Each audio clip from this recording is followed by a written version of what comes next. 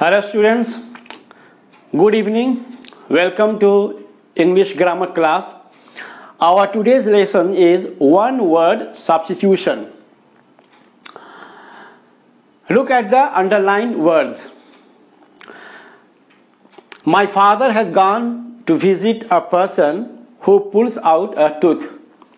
Number two, we have decided to visit a place where animals are kept.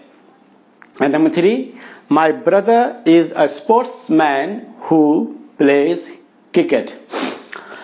Now, in the first sentence, the underlined group of words are a person who pulls out a tooth. Can we replace the group of words by a single word? Is it possible? Yes, it is possible. A person who pulls out a tooth. Who is he called? A person who pulls out a tooth is called a dentist. So, we can replace the underlined words by the word dentist. So, we can write here my father has. So the underlined words a person who pulls out a tooth. These group of words this group of words has been replaced by a single word a dentist. This process is called one word substitution. That is we have substituted the word dentist. We have substituted the word dentist for the group of words a person who pulls out a tooth. Similarly, in the second sentence, the underlined words are a place where animals are kept. Can we replace it? Yes, it can be. So, what will be the word? A place where animals are kept? Naturally, we know zoo. So, we can write, rewrite the sentence. So, the underlined words, a place where animals are kept, is replaced with zoo. So zoo is substitution for the group of words. And in the last sentence, my brother is a sportsman who plays cricket. It can be replaced? Yes, it can be. So who is he called?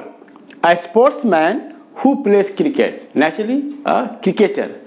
A cricketer plays cricket. So we can rewrite the sentence like this. My. So in else we have seen that a certain group of words can be replaced by a single word. This single word is called one word substitution. So what is one word substitution? One word substitution is the process in which we put a single word in place of group of words. And the meaning remains same. So these these are the three examples. Now let's move to the computer. And on the computer we will see some more examples on the computer slide. And try to learn how and try to see how many words what are the words that can be replaced that can replace the group of words. So one word substitution is nothing but a practice of building up vocabulary. By learning one word substitution you can enrich your vocabulary. So now let's move to the computer. See on the computer slides some more examples of one word substitution here are a few more examples of one word substitution. Number one, one novels called novelist, one who writes poetry called poet, one who writes dramas called dramatist, an animal that lives on the flesh of other animals called carnivorous or carnivore, animals that live on plants called herbivorous or herbivore. One who eats no meat, fish or eggs called vegetarian. A disease in which a person fears to look at water called hydrophobia. One who feeds on fruits called fruitarian. A person who is very fond of reading called bookworm. A study of plants called botany. A study of animals called zoology. A thing that is fit to be eaten called eatable or edible. Water fit for drinking called potable. That can be easily carried portable. That can be moved easily from place to place mobile.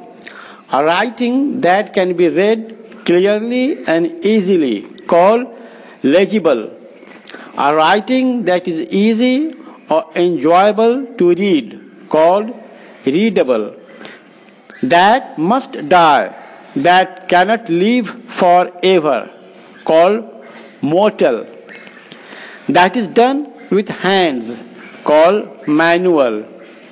That can be seen called visible. One who cannot read or write called illiterate. A disease that cannot be cured called incurable. The life history of a person written by others called biography. The life history of a person written by the person himself called autobiography. Concerned with seeing called visual. Drawn from top to bottom called vertical. Drawn from left to right called horizontal anything having the shape of a square, triangle, etc. called geometrical. A person who loves his country called patriot.